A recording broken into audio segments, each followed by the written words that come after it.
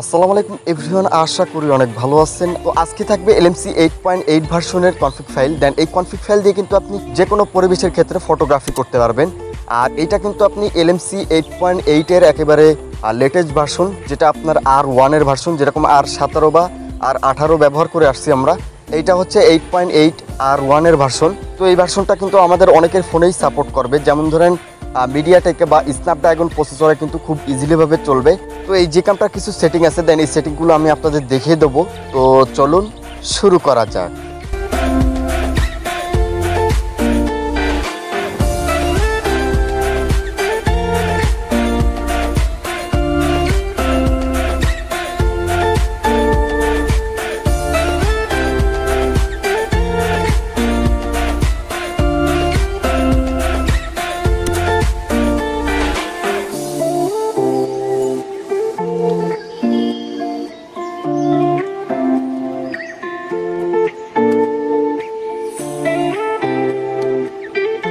ওকে everyone আমরা দেখতে পারতেছেন স্ক্রিনে আমি কিন্তু এই লেটেস্ট ভার্সনের যে জিকাম ওইটা কিন্তু আমি এখান থেকে ইনস্টল করে নিয়েছি, দেখতে পারতেছেন এইট পয়েন্ট এইট ভার্সনের দেন এই জিকামটা সেট আপ করা অনেকেই পারে বা অনেকেই পারে না, তো যারা পারেন না তারা এখান থেকে দেখে নিন।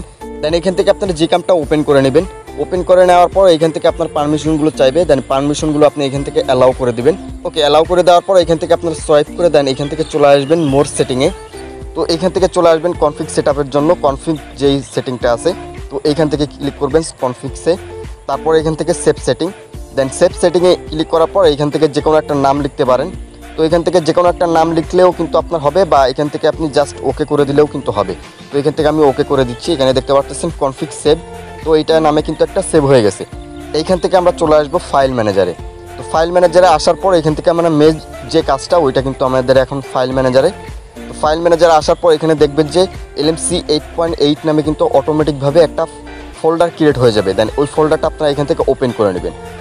এক্সএমএল নামের যে ফোল্ডারটা আছে দেন এইটা আপনারা এখান থেকে ওপেন করে নেবেন। ওপেন করার পর এখানে দেখতে পাচ্ছেন আমাদের এই ফোল্ডারের ভিতর কিন্তু কিছুই নাই। এখন আমাদের কনফিগটা এখানে এনেই কপি অথবা মুভ করে আনলেই কিন্তু আমাদের এই ফাইলটা সেট হবে। তো আমি আপনাদের দেখিয়ে দিচ্ছি। তো এখান থেকে আমরা ব্যাক যাব। অ্যান্ড এখান থেকে আমরা যে ফাইলটা ক্রিয়েট করেছি দেন ওই ফাইলটা কিন্তু আমি আপনাদের দিয়ে দিব। তো এটা কিন্তু আমার ডাউনলোড সেকশনে আসে, দেখতে পারতেছেন। দেন এই ফাইলটা আমি আপনাদের ভিডিও ডেসক্রিপশনে দিয়ে দেবো, এখান থেকে আপনারা ডাউনলোড করে নেবেন। তারপর এখান থেকে আপনারা খুঁজে বের করবেন কোথায় আছে। তো এইখান থেকে আপনারা কপি অথবা মুভ করতে পারেন এইখান থেকে আমি মুভ করতেছি। দেন মুভ করার পর এখান থেকে ইন্টারনাল স্টোরেজ তারপর এখান থেকে আমরা স্কল করে দেখব যে LMC eight point four LMC eight point eight ভার্সনের যে ফোল্ডারটা আছে, ওইটা আমরা ওপেন করে নেব।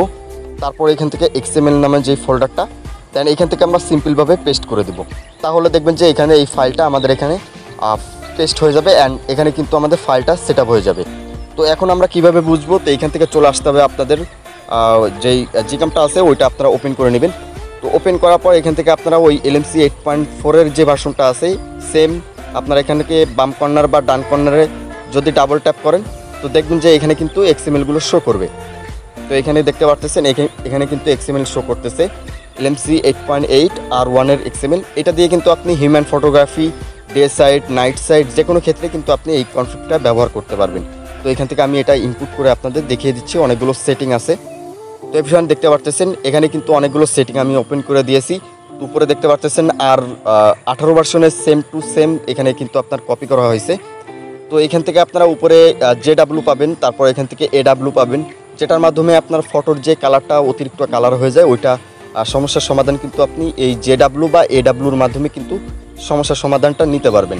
অ্যান্ড এখান থেকে যদি আপনার ফটোর অতিরিক্ত ব্রাইটনেস বেশি হয়ে যায়, তো এখান থেকে ওইটার মাধ্যমে কিন্তু আপনি ব্রাইটনেসটা কম বেশ করতে পারবেন। এখানে সেই অপশনটা কিন্তু আমি আপনাদের দিয়ে দিছি। অ্যান্ড এখান থেকে আপনারা পেয়ে যাচ্ছেন লিকামুড যেটার মাধ্যমে কিন্তু আপনার ফটোর চারো সাইডে দেখবেন যে একটা কালো ভাব আসে ফটো তোলার পর। তো এই কালো ভাবটা কিন্তু আপনার এই লিকা মুডে চলে আসবে। যাদের কাছে হাই কোয়ালিটির ফোন আছে, তো সেই ক্ষেত্রে আপনারা এখান থেকে প্রো মুডটা ইউজ করবেন। অ্যান্ড যাদের কাছে লো ডিভাইস আছে, তো তারা এখান থেকে প্রো মুডটা অফ করে দিবেন। কারণ প্রো মুডে আপনার একটু হাই কোয়ালিটির ছবি আসে। ওকে এবার যদি আমরা সেটিংয়ে ক্লিক করি, তারপরে এখানে দেখব যে এইচডিআর প্লাস আমাদের অনেকের আছে ফটো ক্লিক হয় না, বা আপনার সেভ হয় না। তো এখান থেকে দেখতে পাচ্ছেন ফটো ক্লিক হয়েছে অ্যান্ড এখানে কিন্তু সেভও হয়েছে। তো এইটা কিন্তু আমাদের অনেকের হয় না। তো এইটার জন্য আপনারা কি করবেন এই এইচডিআর প্লাস নামে যে অপশনটা একেবারে হাই রেজলিউশনে দিয়ে রাখছি। তো এটা যাদের একটু এই সমস্যাটা হবে, তো তারা এখান থেকে এইচডিআর প্লাস যেটা আছে, এটা আপনারা করে দিবেন। তাহলে দেখবেন যে ফটো ক্লিক হবে অ্যান্ড কিন্তু সেভ হবে। তো এটা আপনারা দেখে নেবেন। তো এভরিওয়ান এই লেটেস্ট ভার্সনের কনফিগ ফাইলটা আপনারা ব্যবহার করে দেখেন। যদি ভালো লেগে থাকে, অবশ্যই ভিডিওতে একটা লাইক করে দেবেন। আর কমেন্ট সেকশনে কিন্তু আপনার মতামত বলতে ভুলবেন না। আর চ্যানেলে যদি নতুন হয়ে থাকেন, অবশ্যই চ্যানেলটি সাবস্ক্রাইব করে দিয়ে পাশে থাকা বেল আইকনটা প্রেস করে রাখবেন। তাহলে নতুন নতুন যে ভিডিওগুলো, এগুলো কিন্তু আপনারা মিস করবেন। কথা হবে কথা হবে নেক্সট কোনো ভিডিওতে। ততক্ষণ সবাই ভালো থাকবেন। আল্লাহ হাফেজ।